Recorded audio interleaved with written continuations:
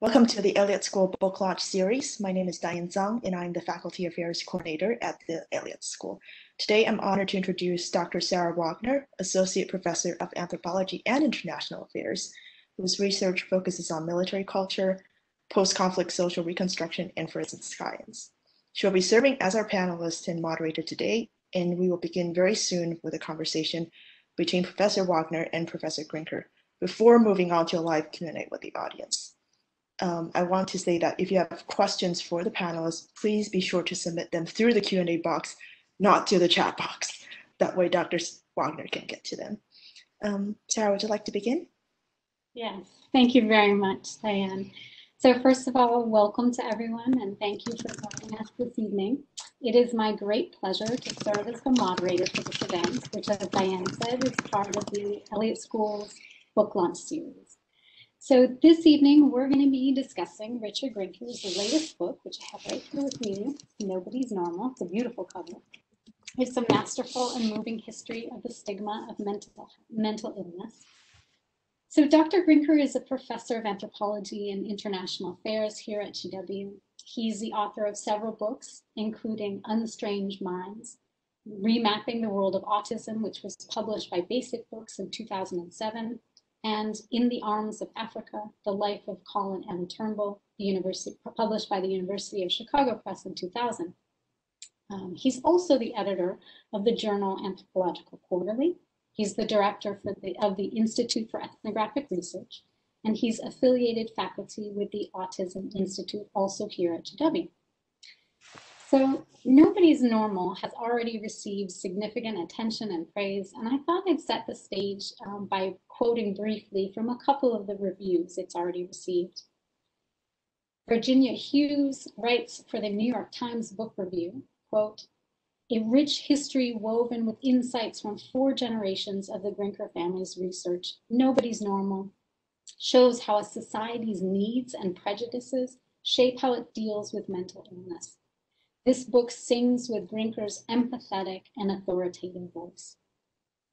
Colleen Mondor for Booklist writes that the thoroughly researched narrative is so engrossing and indeed even enthralling as Grinker shares both the history of treating the mentally ill and his own personal travels around the world, witnessing social acceptance or estrangement of those afflicted by mental disorders. And then finally, Alix Spiegel co-creator of NPR's Invisibilia, writes, quote, Nobody's Normal is for everyone. Patients and their families will read the book as if it were written for them because it is so personal and so empathetic. Mental health professionals will read it as if it were written for them because it's so extensively researched and erudite. Beautifully written, a remarkable history. So congratulations on this early recognition, Richard. So to get us started this evening, I will begin with a few questions for you. And then, as Diane has mentioned, we'll open it up for discussion and I'll be drawing on questions that are posted in the Q&A.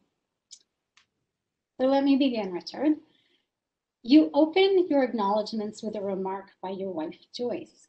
Years ago, as the two of you were driving somewhere in the Shenandoah Mountains, she said, I've been thinking, you should write a book about stigma. So apart from her prompt, I'd like to begin our conversation by asking, why did you write this book? How does this book build on your previous work? Well, Sarah, thank you um, for the generous introduction. I really appreciate it. And, uh, and also thank you, Diane, for arranging this event uh, and for uh, all the Elliott School folks uh, that are behind supporting our faculty and um, making it uh, clear to our community what type of work we're doing. Um, I also uh, want to say just how honored I am to be in an event with Dr. Wagner because I respect her work so much and am delighted uh, to be in the same uh, kind of event as she was in recently for her own book, uh, a Harvard University Press book called What Remains. Um, I will answer your question by by saying that um, there are few concepts in social science that are tied to a single text as stigma. Uh, you don't even have to look up stigma in the index of a book. You can just look up the name Goffman in an index because that's where all the material will tend to be about stigma. And when Joyce said this to me, um, it really resonated because stigma can be a kind of a, a black hole that, that sort of sucks the conversation dry, where you you say, well, why aren't people getting care? Well, it's stigma. Well, why is it that people are keeping mental illnesses so secretive? It's so it's stigma. And we condense so many of our explanations into this one single concept that it just calls out for disentanglement, that we should look at it and we should see what it means and what kind of lens it is to help us look at human suffering or the alleviation of human suffering. Um, I also wrote the book because I have seen through my daughter's life, my daughter who is autistic and 29 years old, and through the lives of my students at George Washington, the landscape, the context changed so much from a time in 1994 when Isabel was first diagnosed, where nobody really understood autism very much. And if they did hear the word, they thought it was a, a horrible tragedy um, and nothing else, to today, when we have this big umbrella, this huge spectrum that we talk about as being autism, and the openness that many of our students have they're kind of the heroes of the book in a way. Um, the person with Tourette's syndrome who stands up at the first day of class and says to everybody, Hey, everybody, I have Tourette's. I might say something offensive. I have a neurological dis- disorder and I apologize. Or the student who in the first day of class says, I have ADHD or I have autism and I hope you will understand this. How do we get to this point where these people are feeling that they're comfortable um, advocating for themselves, taking ownership of these words that used to demean and shame so much. Yeah, that's wonderful. Um, and yet, I will say that um, as you, you've talked about Goffman and sort of this, this point where there's this uh, almost this concentration of knowledge around in this particular notion of stigma, and yet the book if you, you know, from beginning to end, it stretches across a lot. And this is is is a book with a, you know, a broad scope. Um, and yet you had to make choices about how to define that, how to how to put some parameters around the discussion. Can you tell me a little bit about your choices, in particular, you know, how you've organized it around part one, part two, and Yeah. part three, and how those go together? Well, you know, I have to say, if somebody came to me and said, Hey, I want your advice, I'm thinking of writing a book uh, that's going to cover like three centuries, all mental illnesses, uh, the whole globe, and I'm going to weave into it my family story. I would probably say, uh, goodbye, good luck. That's not going to be possible. Uh, it is. It was really uh, ambitious, you know, and perhaps overly ambitious. Um, but but I really do think that it coheres, um, and I I wanted to make choices of what to include in the book based on what I thought were sort of key historical moments. Yeah. And um, certainly one of those key historical moments is the rise of capitalism and the first industrial revolution, when for the first time, scientists had a group of people together in asylums to look at in large numbers and to classify and typologize them, which is where we actually get the invention of the very first mental illness classifications. Not that people didn't have them before, but that there were very few uh, scientific terms for it, and people were lumped together with all kinds of others, including criminals. Um, then the other thing that I found as I was searching for key historical moments was that wars tend to be a place where there's suddenly great medical and mental health progress. Um, we tend to think sometimes about medicine or about uh, the mental health professions as changing gradually over time. But the history that I recount in Nobody's Normal is one of great bursts of new ideas in research and treatment, followed then by long periods of forgetting. And it's not gradual. it's in burst, and sometimes it's one step forward, two steps back. Yeah. You know, and and it's it's it's not some kind of linear um, uh, uh, progression.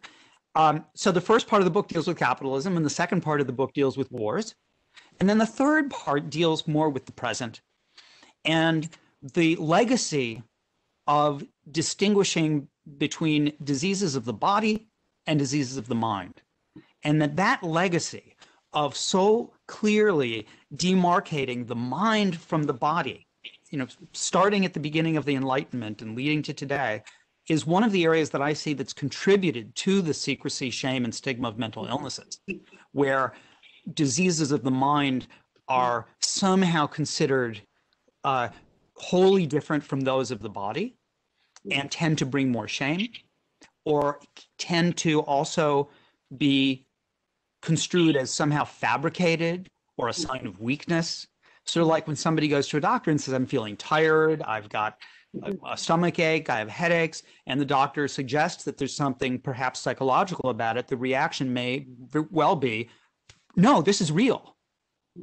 How are you saying that I'm, this is a, a mental thing? No, this is real. Well, the challenge in that third part of the book is to say to my audience that mental and physical health are inextricably tied together. And that legacy of that separation is something we need to address through the lens of stigma. Yeah, I, I would love to um, hone in on that just a little bit. I think there was a moment in the book in that third part that really struck a chord with me and you were talking about. And I, in fact, I think you were pulling off of um, Arthur Kleinman and this, uh, you know, imagine the Alzheimer's patient and the caregiver, you know, in um, an appointment where they're learning about, you know, the, the brain scan, right? And that they want to be seen by the neurologist or by their primary care physician as, you know, these two human beings, right? These two um, persons, you know, who have, and I and I'll say this based on my own family, watching my stepfather and my mother um, mm. as these two people whose lives have been so interwoven together um, that you know the scan and seeing my mom kind of reduced to the scan um, is incredibly hard. Not maybe as much for her as it is for my stepfather. And there's a moment in the book where, in that third part, where you're inviting to you're inviting us to think about you know the extraordinary progress we've made in understanding right the brain right and being able to map you know what's happening you know within our our you know this most important organ and yet it has the possibility of disassociating or, or pulling apart you know that that just the human being and that human being nested in, in a social network that's so well said you know when we uh, when we think about disorder or disease, you know, we tend to think about lab tests and and scans and things like that.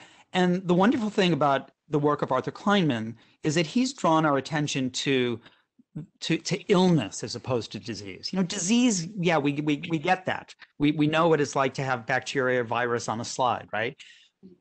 But the actual experience, the phenomenological aspect of it, right? The experience of being sick is never going to be captured under a microscope. And and it's that experience of of of illness that we often see um, made invisible. Um, social scientists also use the term medicalization to refer yes. to this process. Mm-hmm. Um, it's like childbirth, right? It's become something that is medical mean, having a child doesn't necessarily have to be construed as a wholly medical thing. Uh, the way we turn a body mass, a particular body mass index into um, mm-hmm. into obesity, right? So I am not saying that we shouldn't be doing all this great research. Right. It's just that when we do that research, we risk losing sight of the human experience. And that also means culture that also means the the morality, the values that we uh, we attribute to those things. So you know, there's no brain scan that is innocent. There's no brain scan that isn't subject to the values of our society or how we define the person. And that's really what we do as anthropologists, right? We try to say, hey, let's not lose sight of the social and cultural and historical context of these things. Yeah, that's great, Richard. Um, I maybe I'll I'll take that answer and wrap it back to part two, um, where you're talking about um, war and the stigma, the history of um, mental health or mental illness. And I think there's a really interesting moment where you just described um, medical anthropologists, um, you know, invite us to think not about disorder as about illness. And there's this moment, it's um, in the cluster of chapters, you're kind of working us through World War One, World War Two, the Korean War, Vietnam, and um, the more contemporary uh, wars in the, in the Middle East. So at any rate, you have this moment um, with the Vietnam War where there's this advocacy on the part of some veterans to say, this is not a dis like PTSD, right? PTSD, what are we doing with the D, the disorder? So I wonder if you can start us there, but perhaps um, tell us about that, the takeaway from part two within the book, because war is, it's, it's not um, the trajectory, right? The, the, the, the, the story of wars and what we learn and how we respond to them, at least in the context of American society, although you, you do demonstrate in other places, is not a linear one. There are sort of moments, two steps forward and, or sorry, one step forward, two steps back, Yeah. yeah. so on and so forth. Okay, so Right. take it away. Ev. This is- no, I mean, the the thing about uh, war is it's very difficult to talk about wars as productive, yeah. as generative, because we want to say that they're all terrible and they they they they kill and um, they maim and they seem to be aberrations from the what we would consider to be you know the quote unquote normal state of affairs. Um, but the reality is that wars, because they are so cataclysmic, because they are so cruel, they facilitate and they provoke new kinds of gener- uh, uh, of work, new kinds of cultural products, whether it's new, new fiction or new art or new ideas. And I would say there's nobody in the world that has not benefited to some degree medically from something that came out of the military. I mean, if a person is transgender today and has gender affirming surgery, the surgery that invol- is involved in that came from World War One, when surgeons devised ways to reconstruct the genitalia of soldiers who had been injured in war. So, um, so I, I try to uh, balance, you know, my anti-war stance with also saying that wars also reflect our values and they do produce new ways of being. Um, the remarkable thing about the treatment and research around mental illness in wars is that it even though it's really PTSD that sort of and shell shock and things like that that sort of get most of the attention, Right. that was a kind of a tide that raised all boats because it it it allowed people to think about mental illnesses outside of the asylum. It allowed people to see that mental illnesses could be um, something that wasn't a sign of weakness, but a sign that you were a normal person in abnormal circumstances. That there could be short-term therapy. Um, that we needed to expand the vocabulary that we had to talk about different kinds of mental illnesses and that's really a lot of what we see from in war. Now i do appreciate what you're saying about the vietnam war um, and people later on saying let's get rid of the d. We'll just call it post-traumatic stress and it won't be post-traumatic stress disorder. There is value in uh, medical diagnoses and it is that diagnoses drive treatments. Diagnoses drive interventions. Diagnoses drive insurance coverage right? Um, and so we have to sort of balance our kind of you know obsession with with coming up with new disease categories uh, with the fa- fact that they actually are necessary Yeah, yeah. That reminds me of um, the almost offhand comment that uh, one of your undergraduate students had talking about the experience of, of, of going through an economics course that, you know, the test had left her feeling a little bit fragile. And she said, you know, something along the lines like, you know, after that I have PTSD. And yeah, it was like an e- it was an econ exam there we go, there we go. So reflect on that a little bit, both about what she was saying and, and why you would why you weave it into there. It comes up a couple Yeah. times. book. So The reason I do I do that is, you know, a- as much as I'm ambivalent about mental illness um, categories, um, I am very much in favor of the change recently uh, in which uh, categorical conceptions of mental illness, you either have it or you don't have it, have uh, given way to the notion of spectrums. So Yeah. schizophrenia spectrum or depression spectrum, of course, the autism spectrum, um, which I take as a kind of invitation to join the human condition and not just say there are people who are sick and people who are not sick or you're you're labeled and you're always going to be labeled with this thing and you can't move you know along a spectrum of care um, when a student says they have ptsd or when somebody says they're a neatnik and they have ocd obsessive a little ocd or they jerry seinfeld or daryl hannah or other celebrities say that they're on the autism spectrum there is a reaction that sometimes people have and they say no no no ptsd can cause extraordinary depression and suicide. No obsessive compulsive disorder can impair your life horribly. Uh, autism can mean that you have to live your life in an institution and you need 20 care 24 7 but i don't think that when we use these terms colloquially that we are denying or hiding the reality of those the of how serious those illnesses can be. But i think we are disarming those terms to shame. Yeah, i think that's, that that's that's what i think. When somebody says i'm a little ocd it tells us that they know what ocd is they know i mean it's a it's it's becomes part of our everyday life and mental illnesses are part of our everyday life no one on this call can say that they don't know somebody with a mental illness Yes, yes. Um, that immediately reminds me of this incredibly poignant story, again in, in the part three of the book, where it's um, Patrick, um, this young man, and his two friends, um, Julia, and I'm forgetting, is it Lily? I can't quite remember. oh my gosh i'm i'm forgetting now but yes julia question in my mind, julia is one of them. Okay, so at any rate, um, uh, what it was such a beautiful story about, um, you know, about the the relationship between um, this young man whose family really advocated to allow him to to you know to to be in school with others. And and it wasn't just that he was you know drifting from one class to another. He had two friends right? Two young women were with him every i mean it almost brings me to tears. It was such a moving moment in, in the book. And i wonder if you could t- tell us a little bit about that story Well, what I re- Well, I remember Patrick's mom said that having those two friends who were like neurotypical friends um, in high school, they didn't. It didn't make Patrick normal.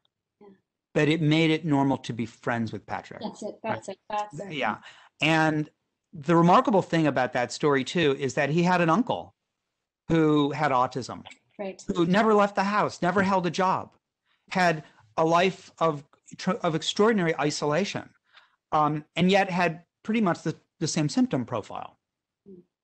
So you look at two historical periods: the the mid this this uncle in the mid um, 20th century living a, a life of isolation, and Patrick now he does Special Olympics. He has a paying job filing at a um, congressional office. He, he he files, cleans things like that. He he he volunteers at the library to shelve books because he's great at classification. He goes to the local swim club. He I mean his network, his interactions uh, are giving him a, a really productive and meaningful life that his uncle never had. Mhm. We're in a different place now. You know, I, I know people think that anthropologists tend to mostly study in far off exotic locations. But I like the quote from Hartley's book, The Go Between The past is a foreign country. They do Yeah. things differently there. So when we do history, we're also doing anthropology. Yeah. Yeah. So uh, I'm gonna. I want to delve in a little bit to um, your ability to weave in stories in this book, and it's not just that you clearly have had many. Com- this is a book of of years of research and um, talking with families and and with mental health professionals, so on and so forth. It's also a story that's um, laced with your own family and. Um, and and there are just beautiful passages about Isabel and about your other daughter Olivia but there's also this misanthrope that is your great grandfather. and and that, Yeah. it's really important. Maybe that's that past that one needs to study as if it's that foreign country. But um, can you tell us a little bit about these figures and why they were so critical to how this book comes together? Well, I wanted to make sure that I could highlight individuals who shaped my perceptions uh, and also changed the discipline in which they worked. Uh, my great grandfather was pretty influential, but he was a pretty, I don't know, what would we say? We don't agree with his values today. Um, I mean, he was a eugenicist. He was a he was a sexist even by the standards of his day, and um, uh, and he really thought that there was nothing you could do for people who were mentally ill except maybe send them to asylums. But he was a psychiatrist um, and a neurologist. And then my grandfather took a different route. Uh, much to the dismay of his father, he became interested in psychoanalysis. And the thing about that for my grandfather was he wanted to take psychiatry out of the asylum. He wanted to say, look, psychiatry ten, is a, a, a, a field with a bad reputation. Few people want to go into it. Where they people think of us as crazy ourselves. Uh, that we're just sort of managers, uh, administrators of asylums. Um, we're mostly Jewish because the they won't let Jews into the more selective programs and they discriminate, so we have to do psychiatry. Um, or in those days, dermatology too, because dermatology was considered to be just treating syphilitic sores, and in, in Germany it was called Judenhaut or Jew's skin. They called that that was the euphemism for germ- dermatology. And my grandfather said, no, psychiatry can treat the seriously ill, but it can also treat the common illnesses. And then my grandfather went further to say, we can also treat the interaction between the body and mind. And he liked to quote Henry Maudsley, who said that the sorrow that finds uh, no vent in tears makes other organs weep because he saw in World War II that a mental illness can be represented emotionally, but it might also be represented through physical symptoms, including paralysis and mutism and diarrhea. Um, and then my father also became a psychiatrist and psychoanalyst, and I married a psychiatrist. so it's sort of like all around me. Yeah. Um, but to some extent, this book was, you know, a way for me to tell that family story, um, and perhaps personally also to try and integrate myself into it, because I did disappoint my family tremendously by choosing a field other than psychiatry. And you know, maybe this is a way of kind of atoning for that that sin against my family to say, well, I'm I'm still doing work on mental illness, so I'm I'm, I'm still carrying on the legacy of our four generations. So it's not enough just that you married a psychiatrist, correct? Yeah, but you see, she's not a You can say psychoanalyst, so she wasn't the right type of psychiatrist. Oh. You know how parents and families can be, right? Oh, you yeah. think you're marrying the person that they would love, but not the right type of. All right. Listen, I have a couple more questions Sure, and then I think it's time to open it up to the Q and A. And with that in mind, folks, as you're thinking about questions you'd like to ask Richard, please feel free to start typing them in. But I, like I said, I've got a Yeah. couple. Um, so the penultimate question is uh, connection to GW. So um, in chapter 14, you write about electroconvulsive therapy and the stigma that surrounds certain treatments, even the stigma that arises with the very suggestion that someone's undergone a treatment. And you write this, there's this really beautiful note. You say that whispers are the sound of stigma. I wondered if you could tell us just a little bit about this GW connection that you unearthed um, as a part of your research into the field of psychiatry. Sure. Um, I, I, I should say that felicitous phrase, whispers are the sounds of stigma, uh, was suggested to me by a student, Shweta Krishnan. Oh, Um, beautiful. so- Shweta, lovely. So I just lovely. thought I'd give her a shout out um, for, for that. I'm surprised there. Well, yeah. she well, she was looking at a sentence and she said, hmm, Yeah. it might be better if you said it as this. And so she was she was that little book doctor there for a second. Uh, but you know the thing is not more than uh, 400 yards from where I am now sitting. Uh, there were thousands of people who were given lobotomies um, and um, and electroconvulsive therapy. Um, I write a lot about the two of those because they used to be kind of grouped together and um, as sort of brutal um, treatments. Uh, but I am a big proponent of ECT. Electroconvulsive therapy saves lives. Um, it has some side effects, but it is it is a lifesaver, and I have a whole chapter on electroconvulsive therapy. Um, but what is what's really interesting about lobotomy is that George Washington University was the national center for lobotomies. I mean, this was the place. This is where John F. Kennedy's sister Rosemary had a lobotomy. This is where people brought women and girls in order to enforce gender norms to say uh, something's wrong with my daughter. She wants to go to college. Uh, something's wrong with my daughter. She reads too much. Something's wrong with my daughter. She doesn't want to marry. Whatever it might be. And uh, professor walter freeman at gw was eventually you know he eventually lost his license and so on. But uh, uh, the portuguese man who invented the lobotomy won the nobel prize for it. Um, electroconvulsive therapy, that's a different story. And you know, one of the reasons I spend a lot of time talking about electroconvulsive therapy is because, well, not just because it saves lives, but also because we have been told for the past two decades that if we can act directly on the brain and think about mental illnesses as brain disorders, then we will eradicate the stigma of mental illness. And a mental illness would be just like a broken brain. And just as you would not stay away from a doctor if you broke your leg, you won't stay away from a doctor if you've broken your brain. But here's ECT, this incredibly effective, life saving treatment for treatment resistant depression. And yet it is highly stigmatized. And people keep, even people I know who've written memoirs about their sexual lives won't say that they had ECT. I mean, it's very, very private and scary.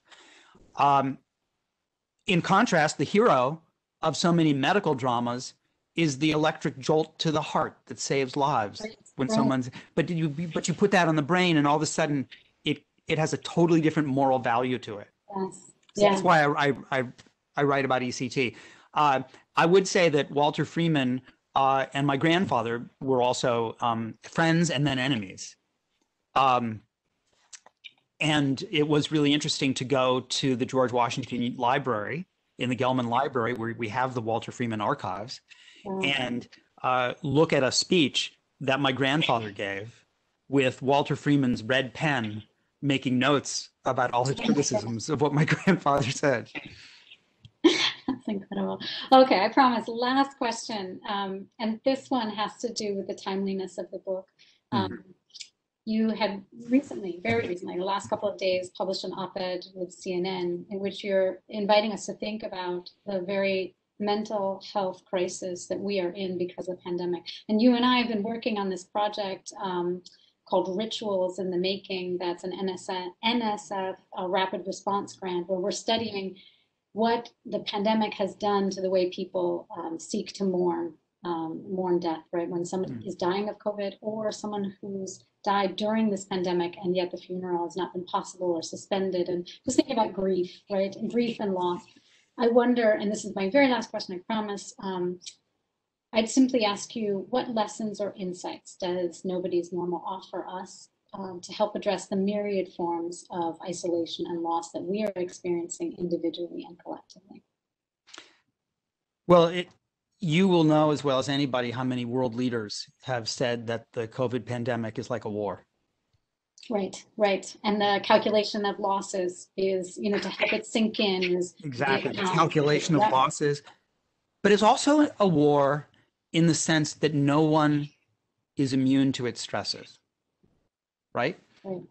It's a globalizing, universalizing thing. And one thing about wars is that because everybody experienced stress in war conditions mental illnesses were less stigmatized because of course we're going to be stressed out. Of course we're going to suffer. Some will suffer more than others but but there will be suffering.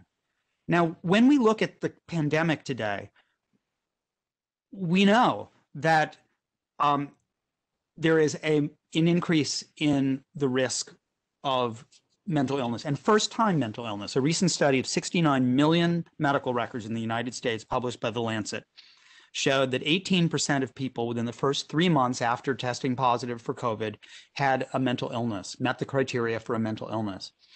Within three months of a COVID positive test, 5% of people had their very first mental illness. These are first onset mental illnesses, never had a psychological issue before. These are like the people in war who are normal people now in abnormal circumstances. And what's more, we know that people who actually um, have a pre-existing mental illness are more likely to contract COVID. So this is a, uh, a, an issue that nobody's normal relates to because it's about the relation between body and mind. It is about the possibilities for making progress during a warlike experience. And I think that this is especially true for elderly people who are more likely to have medical conditions already and therefore be more anxious about COVID. They are more likely to be lonely um, and depressed. And there are uh, a host of other kinds of factors that can exacerbate all of our mental health needs, including what we're studying in this project, which is what happens when you experience emotions, but you can't deal with them in the way that you are used to? How is it that you deal with death when you can't mourn together in a group? When you're, how can you even experience emotion when you can't see somebody's face behind a mask? And how do you think, how do you deal with the anger and the rage of grief in a situation where you feel that something has been taken from you unnecessarily in, in a politically divisive environment. I mean, these are all really, really crucial issues for us. And I think, though, the pandemic is the moment where we can say that just as we understood that people in wartime could get sick from the stress, so too can they get sick now. And it's not just mental illness by itself, it's mental illness as caused by physical illness, and physical illness is exacerbated by mental illnesses. These two things are together. There is no physical health without mental health and vice versa. Excellent. So I'm looking at the chat now. Um, and first of all, my apologies. I see that I, I could have spoken up a little bit. Um, so I hope that we're now our audio is a little more balanced between Richard and me. Um, at this stage, uh, I don't see any questions yet. So uh, uh, here we go. Here's some uh, from Christian Williams. So, um, Richard, where do you see the area of mental health in the next uh, 10 to 20 years? Well, I don't know where it will go, but I can tell you where I would like it to go. I would like it to go into a situation in which we continue to do all the incredible neuroscientific research that is going on, but don't lose sight of the person, in which we see psychotropic medicines as just one kind of um, uh, tool in our toolkit and that we don't give up the effort to have social supports and talk therapy and and all of that. I mean, the fear of this sort of decade of the brain and the broken brain idea is that we'll we'll we'll end up just focusing on medicines and scans. But you know, the thing is, medicines could save your life, but they may not give it meaning. For that, you need social support. For that, you need talk therapy. For that, you need other human beings and not just medicine. All right, Sarah, wonderful. sorry to interrupt you, but the questions are coming from the Q&A box. I see them now. I see them now. My apologies. I think this, I'm not as used to WebEx, so I'm going to kind of work my way back and then scan through, okay? So um, this is from Marsha Waldstreicher. For those, whoops, that just moved. There we go. For those with ASD, sometimes it is, isn't an issue of getting a getting the courage to advocate for ourselves in the face of shame and stigma. When I was younger, I had no understanding of what shame or stigma was. And once I was old enough to understand it, I didn't care. And so maybe that's more of a comment, but Richard, I wonder if you could um, maybe unpack that idea of one doesn't immediately know of the stigma. It might be something that gradually one becomes aware of and the imp- impact of that. Mm. Well, you know, I think that one of the wonderful things about the neurodiversity movement is that it has made it possible for people not that's great not to care. I mean, it means you are you, and that's and that's great. Um, on the other hand, we still have to understand that when we're talking about a spectrum, there are people who are seriously ill and really need care. We never know what that point is of crossover. You know, when we talk about another spectrum, like the color spectrum, I can tell you where yellow, what's yellow and what's orange and what's red, but I probably can't tell you, and we can't all agree on where yellow turns to orange and where orange turns to red. And it's the same thing with um, with with our experience. Where does sadness become depression? Where does shyness become autism? And that point is is where there is enough of an impairment that you need help. Where there is some kind of thing that's broken down. It could be your work life, your social life, your your your your your diet, your sleep. You if you're suicidal. Um, and so we're always having to make judgment calls, both as people experiencing illnesses, but also in the mental health professions of at what point do we decide that something warrants care? So another question I have here is from Paolo Dellavina, um, who asks, is the term mental illness considered harmful or belittling to the human experience? What is your take on the term neurodivergent? As, and is this something that we as a society should progress to use a lot more in the future?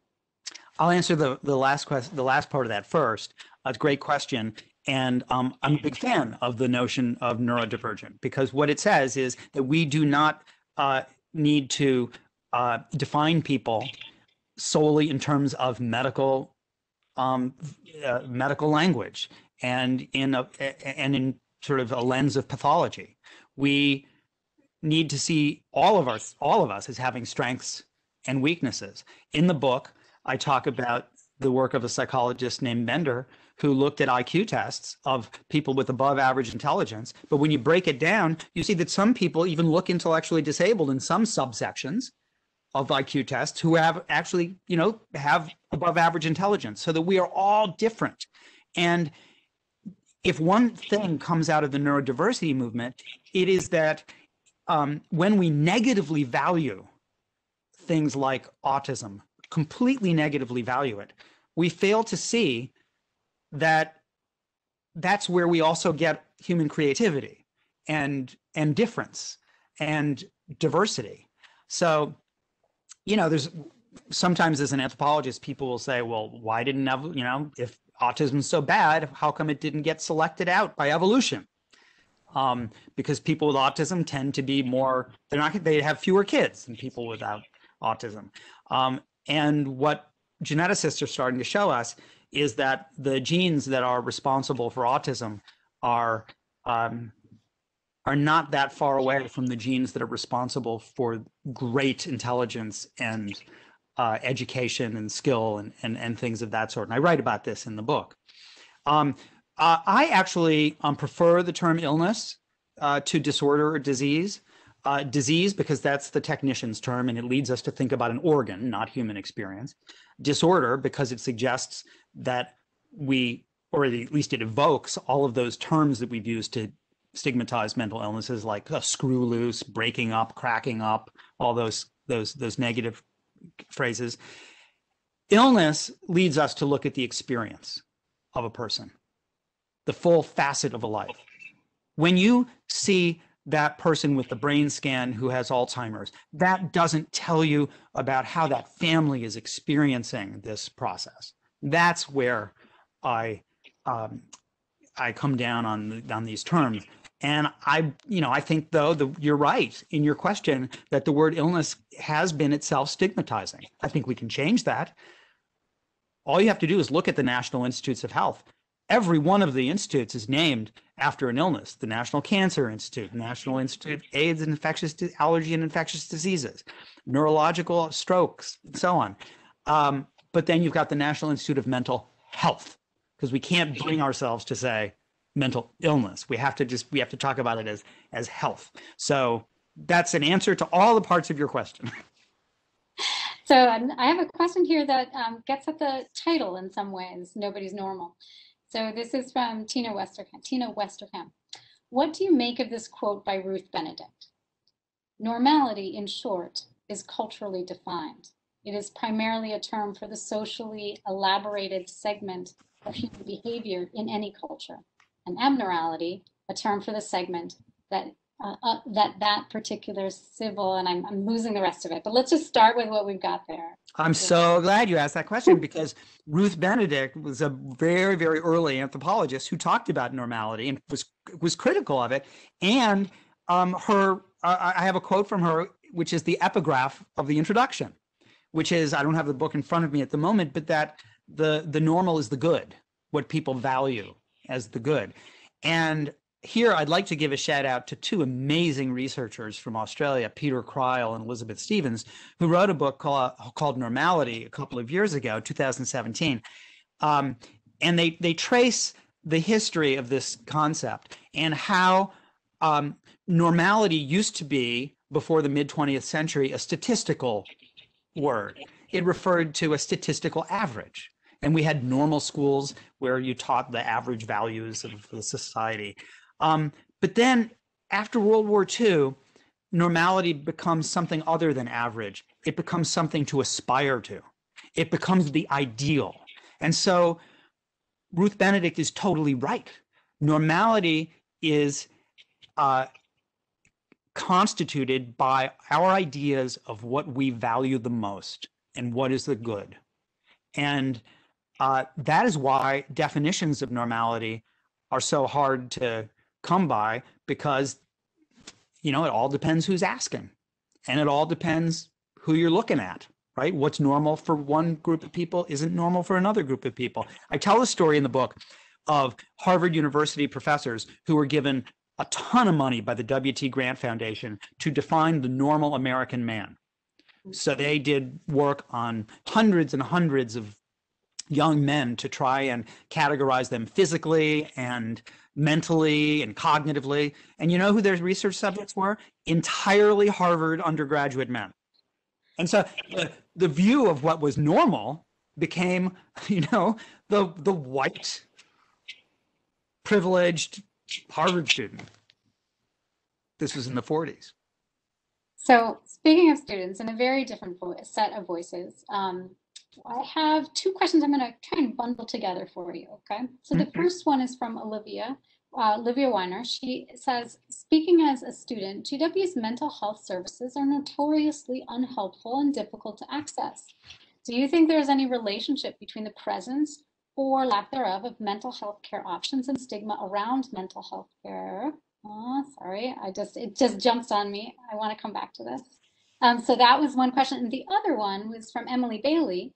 Um, and I think we might find a correlation. In many ways, lockdowns due to COVID have forced all of us to experience isolated life um, people with disabilities often face. Do you think this could impact the way we view and understand disability? So one we have about an institutional response and the other is about sort of COVID and what this lockdown that has forced so many of us into isolation.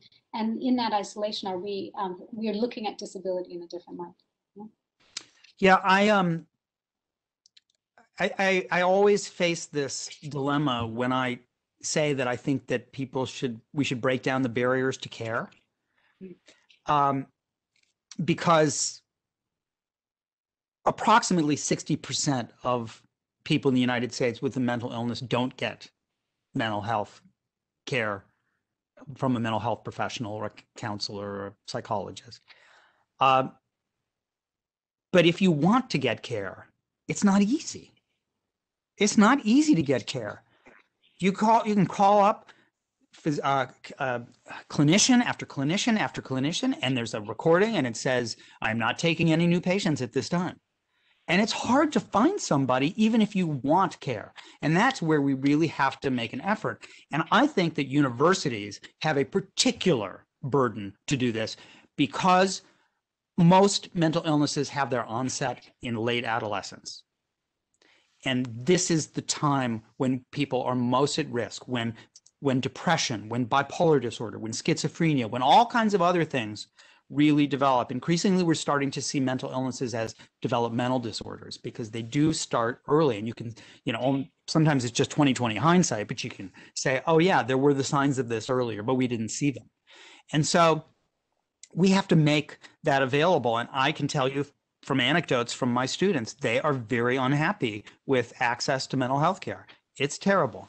Um, that is a big problem. Now, to uh, the question that Emily asks, uh, it's there were some uh, people joking, um, autistic uh, self advocates that were joking about um, social isolation, social distance by saying, uh, yeah, autistic people were way ahead of the curve on social distancing um, because uh, they have tended to you know be more socially distant because they have challenges with social communication. But one of the things that people with disabilities have been begging for for years and years and years is for employers to allow more flexibility for remote working. And they have been repeatedly told by employers. No i'm sorry. Um you have to you know even though i know you have to navigate the transportation or even though i know you, ha- you we don't have an accessible office and you have to take this elevator or take or we have to put this ramp in you need to come to work. We can't be successful remotely. Well almost overnight covid has changed that.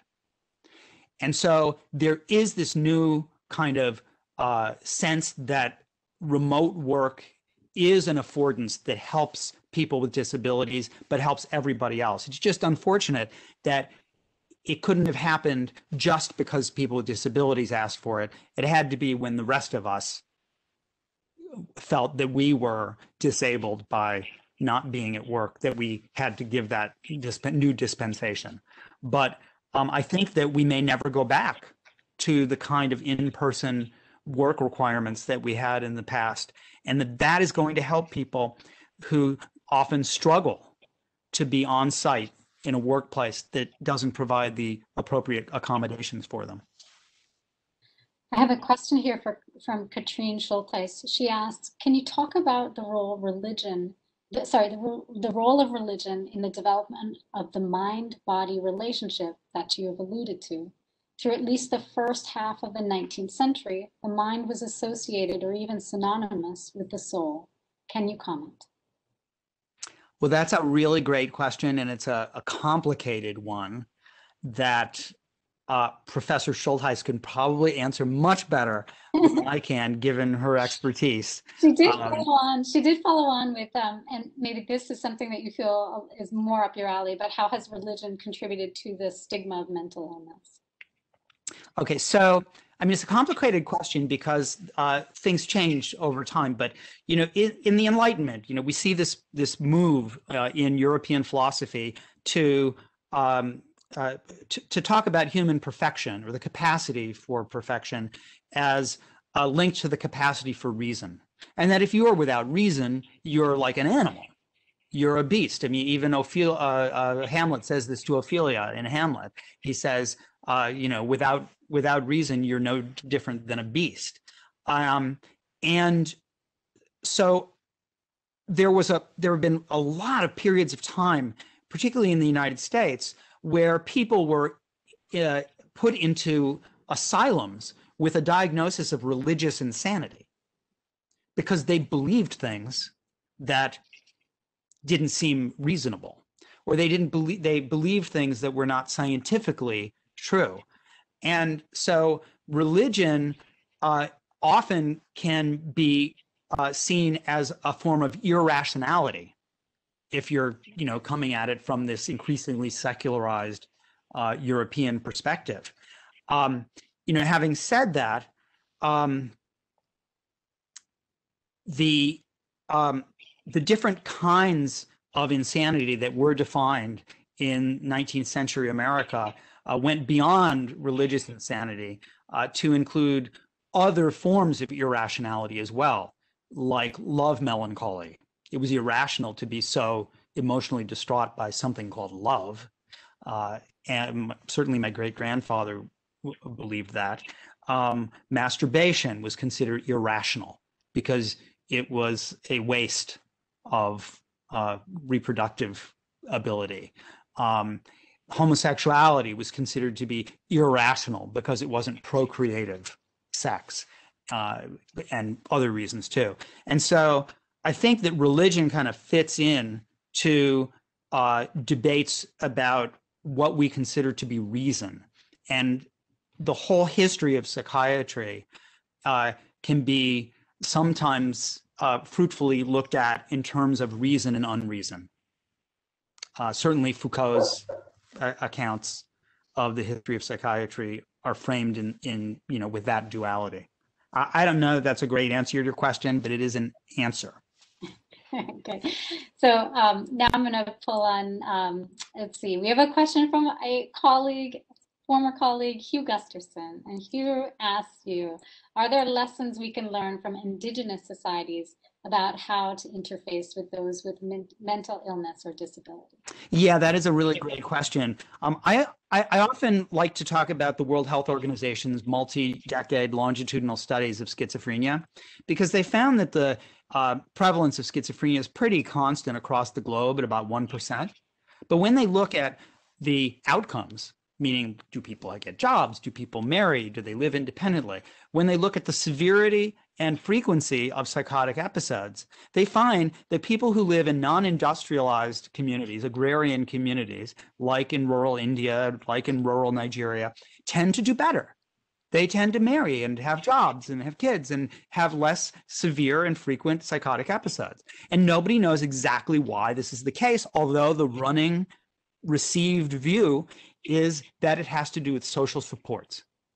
And so, if the history of psychiatry is one that is about the um, idealization of the person who is productive, can work, can be individualized, aut- uh, an autonomous person responsible for himself or herself, and accountable only to himself or herself, then we need to look at places where the ideal of the person is not somebody who is going to be totally independent. When I was doing work in Namibia, I asked a man and a woman who have an autistic, pretty severely autistic son, what was going to happen, who was going to take care of their son when they died. And they were confused by my question because there was a village there. And they said, Yeah, but you mean when the whole if the whole village dies all at once? Because I don't think that's going to happen it just didn't make sense to them. There would be somebody to take care. And one of the things that I have done as a parent of a child with autism is that I continually reinforce my social networks, knowing that someday I will be gone and I want there to be people who care about my daughter. I want there to be people who will see that they are connected to her, whether they're relatives or they're friends.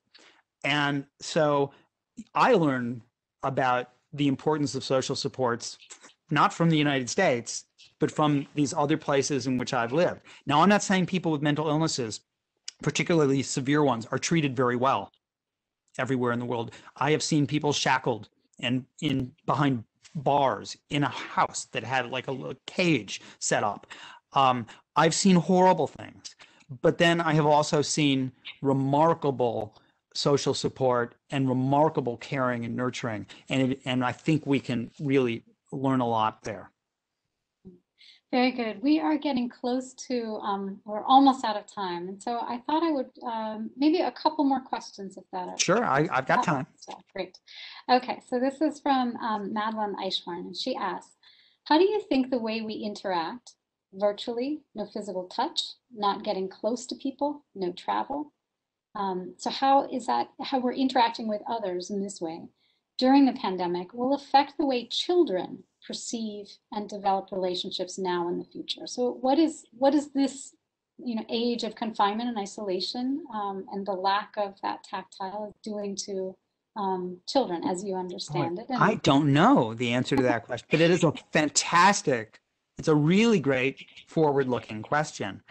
Um, I can tell you that children, I mean, in my own experience as a dad, children need structure and they need activity and they need to have diversions and different kinds of things. And I do wonder about a kid that's in front of a computer all day.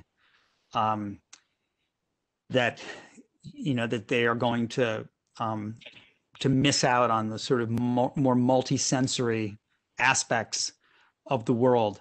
I know for people with autism, the lack of structure involved with um, the kind of lockdown that we've had to experience has been tough for some people. Um, it's been tough for my daughter, um, and that you know we we we have to work especially hard to try and provide that structure. Um, I wish I knew the answer to that question, but I think it's a great question because it it's going to make me think. I mean, I'm going to leave this and and think about that question for a while. So so thank you. So one last one, and I think it's a question um, that may take us back to the overarching theme of the book, um, the value of lives, and and how some lives are stigmatized. And um, so this is a question that asks, what is your take on the concept of laziness? Does it exist? I think it really speaks to part one of this book. So uh, yeah, take it away. Boy, Uh, yeah. really I'm good sorry, I question. picked one that was tough. Yeah. Yeah. Um, laziness is a culturally defined term, right? Um, I spent two years living with the um, the pygmy, uh, Efe pygmy hunter gatherers. Okay, um, and they um, they spend a lot of time sitting around, and they don't spend that much time eking out a subsistence. They get what they need and then they relax smoke drink talk. The Efe and, and mbuti pygmies in that area spend more time the fathers spend more time with their children than in any other society where anybody's ever done time allocation studies so on the one hand if you're looking at it from the model of the economics professor who's talking about maximizing our gains, they look lazy and you could impose that judgment. On the other hand, you could say, look at these dads who are so involved with taking care of their children. Um, isn't that a wonderful thing? So, laziness is like normality in the sense that it is a value that we create and that we define. And what is lazy in one uh, setting is not going to be lazy in another setting. I mean, it's a it's a it's a negative word that that that really fits, you know, with the ideals of capitalism, right?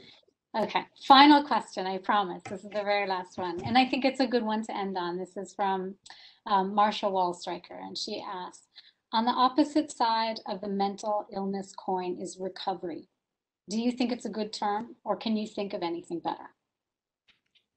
Recovery's been a very um, important word um, because I think that it tells us that uh, even if we can accept that serious mental illnesses can't be quote unquote cured, they can be treated. And you can get back to a life that may have been impaired by your mental illness. So I think recovery is very, very useful, right?